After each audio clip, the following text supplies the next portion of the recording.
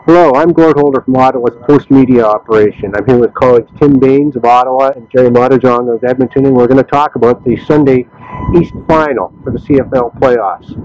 Redblacks and Eskimos. First question I need to ask my colleague Gerry is, what's up with Mike Reilly's shoulder? Yeah, well, I guess we're going to find out. Uh, he did get banged up in the East Semi last week, uh, ended up leaving the game, came back out, stood on the sidelines with it braced up. Uh, it didn't seem to affect him in practice at all, Gord. He uh, was still practicing with the first team, taking all the reps and everything like that, and he is listed to start this game.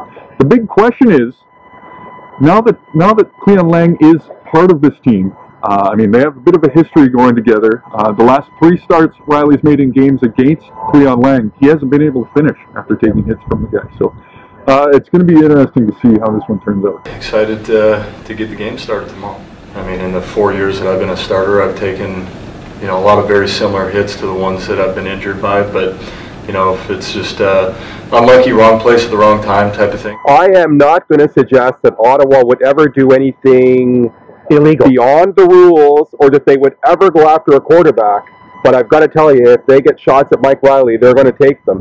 Uh, if, if there's any way you can throw Reilly off his game, maybe make him run the ball a little bit, maybe make him think about it, they're going to be he's going to be taking some hits tomorrow. And, and, here's the thing: who knows how beat up he is? I mean, this is Mike Reilly, a guy voted last three years in a row by his peers as the toughest player in the CFL. So uh, I mean, absolutely, you got to hit him. You got to keep hitting him and hope he stays down. I guess. You got to be smart for sure, but I think the situation in the game dictates what you're going to do because um, you know you win and there is a tomorrow, you lose and there's not. So you do everything that you can to win the game, no matter what it takes.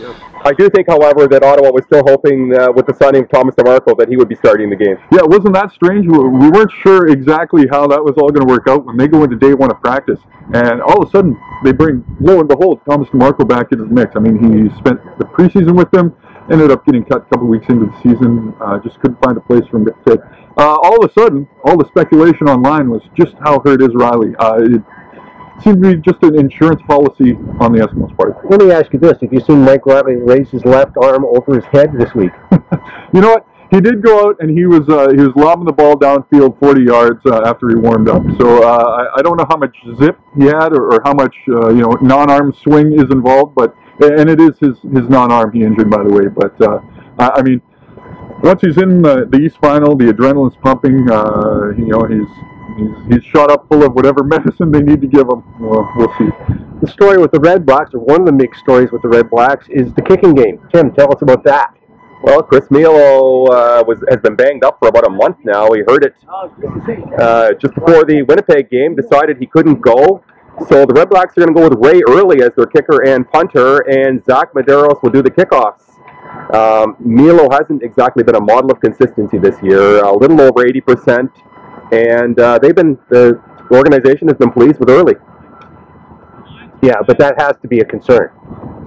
Well, anytime you're talking uh, a possible, a potential game winning field goal, uh, as teams tend to work out around here between these two teams.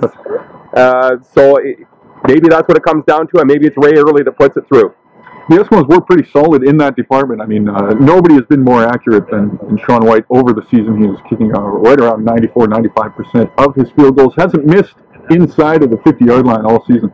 Uh, of course, he was overshadowed by Medlock, uh, kicking a record number of field goals all season, but uh, hey, he made the most of his opportunities. So here's the question Who's going to win? Uh, that's, you mean who's going to win in overtime? Because that's guaranteed. That's what this one's going to come down to. Just like it did in the season opener when it was the uh, the replay of the Grey Cup final from last year.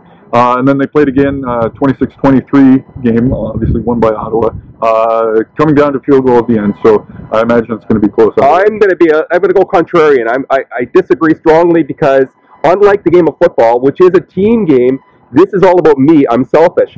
I want it. It's going to be 41 to 7 for Ottawa. They're going to be leading by 30 points at halftime because I need to book my train ticket for Grey Cup. So they can't let it go into the fourth quarter. I won't have time to do it. Enjoy the game. This is Holder for Postmedia News.